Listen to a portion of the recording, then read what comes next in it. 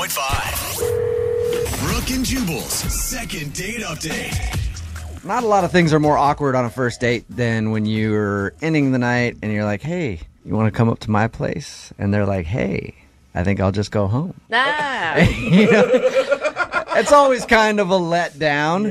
And apparently that's what happened to today's second dater, Andrea, who is on the phone. And Andrea, I read your email. You met a guy named Tommy at a party, and dinner went well according to you, but you also said that is how your evening ended by you inviting him up to your place and him turning you down. Oh no. Yeah, awkward. Oh, what when he said that to you, was it obvious that he didn't like you? he said, "No, I don't think it's a good idea." was it I don't think it's a good And you're idea. a living, breathing woman with a pulse, right? Oh, Yeah. you guys. There's some guys who think that that's moving too fast. I mean, maybe it was too much for him. No, I didn't even get a kiss, goodbye, or anything. Even a handshake? Did he at least give you a handshake? High five. Nothing. No hug or anything. Oh, So I texted him later and I asked, "Is everything okay?" And he responded, "Yes." Period. That was That's it. it. Just a one word. Not good. Yes. Yeah. Uh-huh. Anytime anybody texts me with a one word something, even if it's like my parents and we're just talking about something and I know that they don't really know how to text correct, I'm just like, oh my God, what's wrong? I know. So he just gave you the one word yes with a period. Yeah. And then I said, "Did I do something wrong?" And I never got any response. Oh no. Did it seem like he was enjoying the date that you were on when you guys went out to dinner? I thought so. I mean, I asked him up to my apartment. So Right. Yeah, so you, Well, you I mean, thought you- everything was going You good. thought it was going perfect. Was there any moment in the date that you think something weird could have happened, something awkward other than him turning down your advances to No, I mean, the only thing I can think of is I took my time when he came to my house. He texted me and told me that he was there, Mm. and I took my time coming out of the apartment. You know, like I was trying to look cute and just running late. Are we talking like five, ten minutes or two hours? No, it was like 15 minutes maybe. Okay, so Yeah, not terrible. annoying. No, it is that's it is bad. annoying when you pull up and you're like, "Oh my god, come on, hurry It's like up." being late to the date. Uh, But Um, at this point, guys build that into their schedule. I feel like they're just Mm. used to it. This was the beginning of the date, though, and everything else seemed to go fine. Like I can't imagine, like finally at the end he gets upset about it. Uh, good point. And I looked good. You know, I was taking my time to look good for him, and I apologized. Yeah. But Yeah. Well, if you're going to take that long, you better look good. Yeah. That's the rule that I have. If you show up 15 minutes late and you're kind of looking pretty basic, then we're not going out again. But if you look like Beyonce, then yes, you did a good job. And uh, there's that 15 minute grace period where you're okay. At this point, are you hoping to get a second date? Do you feel like he's going to want to go out with you again, or are you just hoping to find out why? I would like a second date, but at this point, I'm not getting my hopes up about it. Right. You know, mm-hmm. Yeah. I just I just want to know what is going on. I mean, if he respond, your last conversation was like that, where he gave you a one-word answer and then just mm-hmm. never responded if you asked if you did something wrong. He's obviously not into you for some reason. Doesn't look good. But maybe, maybe we can turn whatever it is into a positive and get you a second date out of the deal, I hope so. or at least you understand what you're doing wrong. Yes. all right. Well, play a song, come back, get him on the phone, and get your second date update. All right. okay. Thanks. All right. Hang on. My face above the water. Moving 92.5. Brooke and Jubal in the mornings. Second date update. Amanda is on the phone with us, and she wants us to call a guy named Tommy. Something very awkward happened at the end of her date with Tommy when she invited him up to her place. He said, I don't think that's a good idea. And then she hasn't really heard anything from him. So it's obvious that something happened on the date that went wrong, and Tommy didn't like Andrea very much. We don't know why. That's why we're about to get him on the phone, see if we can find out what Andrea did on the date. And Andrea, I've got a special treat for you. Oh. Okay. Okay, this is something never done before in a second date update. I'm going to try something groundbreaking here when we call him, okay? Okay. I'm going to pretend to be you. I don't think that's So gonna the, it's the first second date update where I've ever Okay. pretended to be the other person, and I think it can work out very well if I get him on the phone. and Just like, hey, what's up, Tommy? Yeah, It's me, Andrea. Don't you remember you wanted to come to my place? And I was like, hey, come up and kiss me sometimes. I'm confused talking to you Right? right now. I know. Talking. An- Jubal go? Andrea, what do you think? I think I'll go for it. Go for it. You think Yeah. that'll work out well? All right, Oh, I'm Andrea. sorry, Andrea. You about ready to give him a call? See if we can get him on the phone. And... I'm ready. okay, here we go. I'm so nervous. Like he wouldn't be able to tell the difference at all, and it probably would score you a date, Andrea. I'm a pretty sweet talker.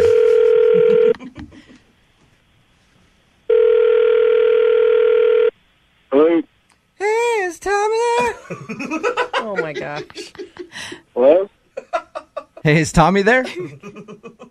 Yeah, this is he. Who is this? This is Jubal from Brooke and Jubal in the morning. How are you? Um, good. Can I help you? I'm calling you today because you recently went out on a date with one of our listeners, and they wanted to see if I could get you on the phone and talk to you for a minute. you serious? yep. Her name is Andrea. Huh. All right, so you, was you remember going out with Andrea? Yes, I do. She told us that you guys went out for dinner and um, had a lot of fun. Wow. And she said, though, at the end of the night after your date, that she invited you to her place and you turned her down, and then you haven't really talked to her at all after. So she's wondering why you turned her down. Wow. So she she called you to ask me that? Yes, because apparently she couldn't get you on the phone. So her last resort was to ask us to call you and find out what the reason is. Wow. Okay. I mean, I think that's pretty pathetic, but uh, I was pretty pissed off, and uh, I didn't want to really talk to her anymore. You were pissed off and you didn't want to talk to her anymore. That's right. Do you mind telling us why? Well, she's obviously told you everything, right? I'll tell you what she told us. She said that you guys went out to dinner. She thought you were having a fun time. At the end of the night, she asked if you wanted to go up to her place. You said no. She had a real quick text exchange with you, and that's the last she's heard from you. That's And the only thing she mentioned was that she might have made you wait 15 minutes while she was getting ready for the date. Oh yeah, that's the least of her problems, man. what what did she do? that's intense. Why are you so mad at her? basically, I got into a conversation with her over dinner about travel, and um, you know, I just recently came from Nepal, and we had a really good conversation. And she told me about this trip that she went to in Canada, Okay. And she was complaining about Canadian drivers and how they she she wished that she could just go party in Canada without there being some dumbasses in there. So it sounds like you're personally insulted that she was making fun of Canadians. Well, yeah, I am. I'm from Ontario. I'm from Waterloo, Canada. Oh. So she was railing on Canadians. Did she? Did you tell her that you're from Canada? No, I didn't tell her from Canada. Do you, okay, I wait. let her go on and on and on. She went on for an hour talking about how she thinks that Obama should infiltrate Canada. No.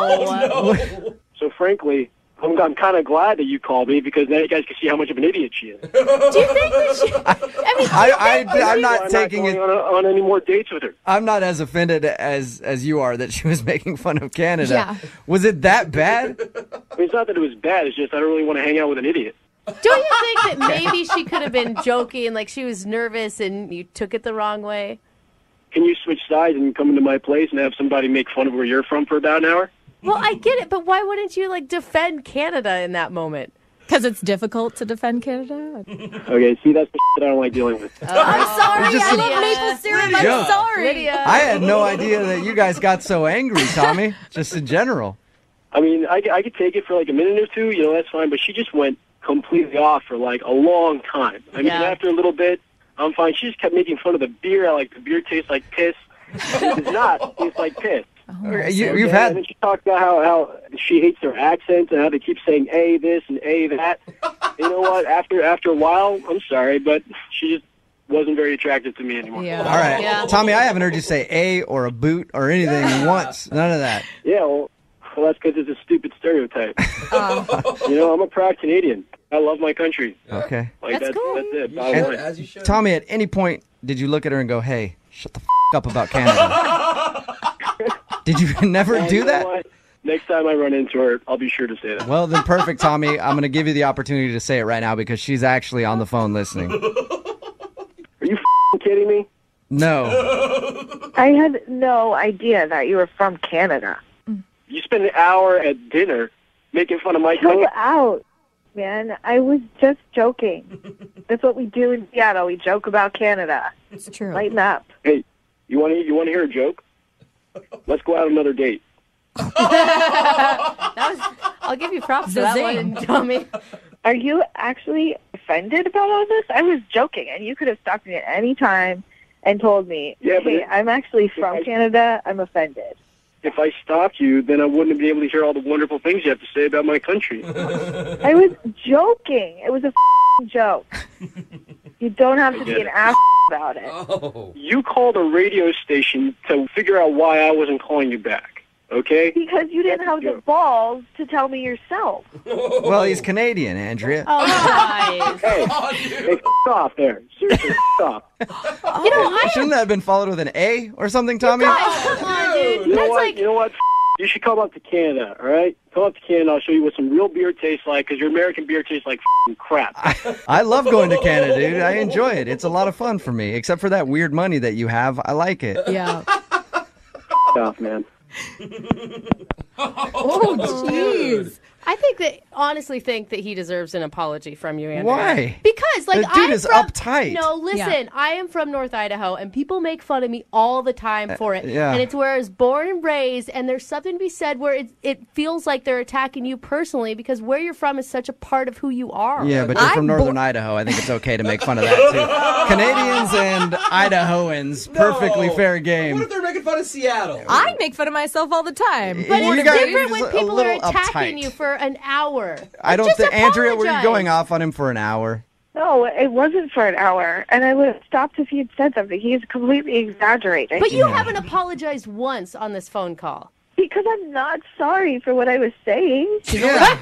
She's Why only, she's only sorry about his sense of humor. Yeah, it's and it, which is weird because normally Canadians have a good sense of humor. Oh. Like that's the one thing that they have going for them up there. Is there's a lot of funny people that have come from there.